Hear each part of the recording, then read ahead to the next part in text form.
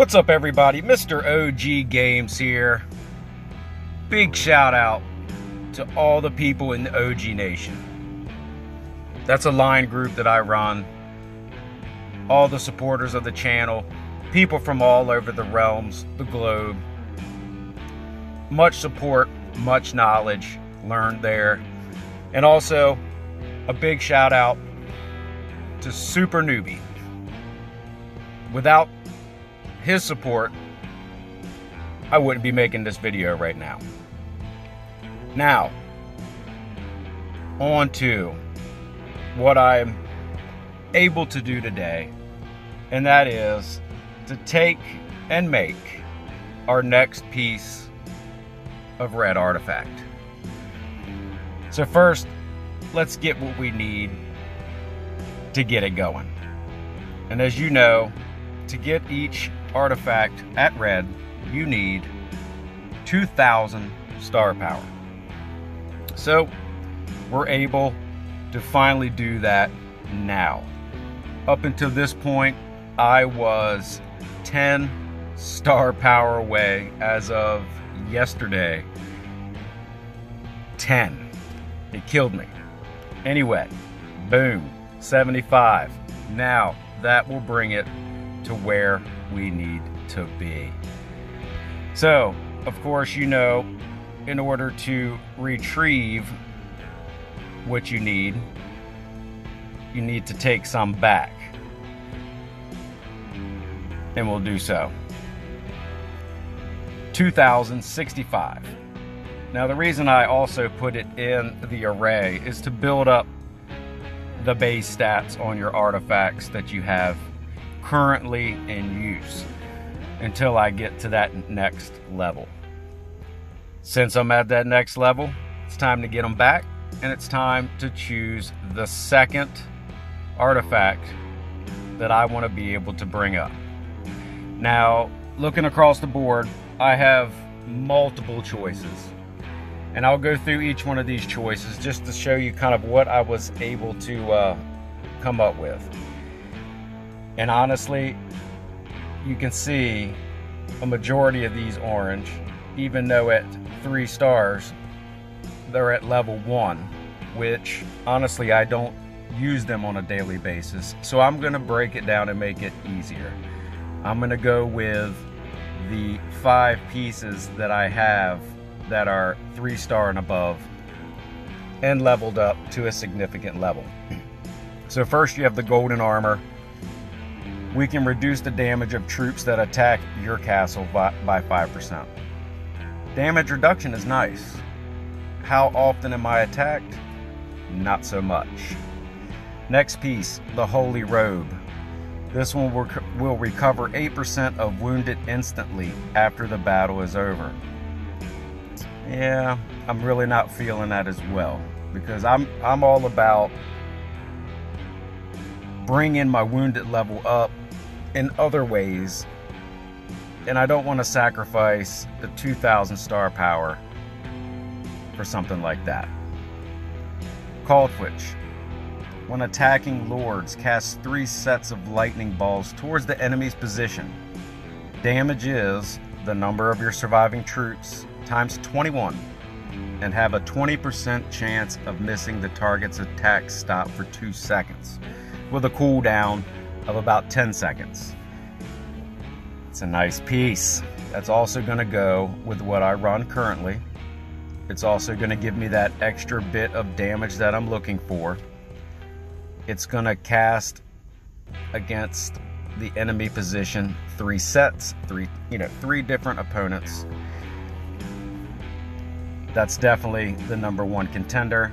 You have Leviathan, for one hour after using the skill, 9% of killed troops will automatically be converted to wounded until your hospital is full in attack battles. Not really liking that so much. Excalibur, I don't have it equipped. I don't use it on the regular. As you can see, select a castle to make its defensive troops reduce damage dealt by 6% for 12 hours. Now, I don't usually, you know, one hit on an opponent Okay, damage dealt 6% less. Okay, so, or I'll, you know, reduce the damage. Also, not what I'm gonna go for. Called Twitch is the winner. This is gonna benefit me all around. It's gonna give me a majority, since I'm majority attacking anyways, it just makes the most sense to me to give me that much more damage dealt and it'll pair well with the piece that I already have which is the Heavenly Spear. You've seen it. Now it's time to pair it up with the Heavenly Spear. So let's go ahead and evolve it. This will give me my second piece we're gonna go ahead and share that to the fellas and ladies in the Alliance. And it's gonna look pretty. I know it is. I know I know the double red is gonna look beautiful. Might even have to put them side by side, you know, make them look beautiful together. Make a little face out of it, you know, two eyes, two red eyes. Anyways, anyways, there we have it. Now, from here on, you know we're to have to put it to use. We're to get some exercise on our second red piece, and that's to be for some future videos.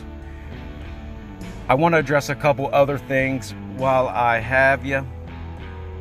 I've had a lot of people uh, asking, what do I do with the star power? What do I, you know, how do I, how do I use it until I can't use it, use it? And that's simply do your upgrades in your array.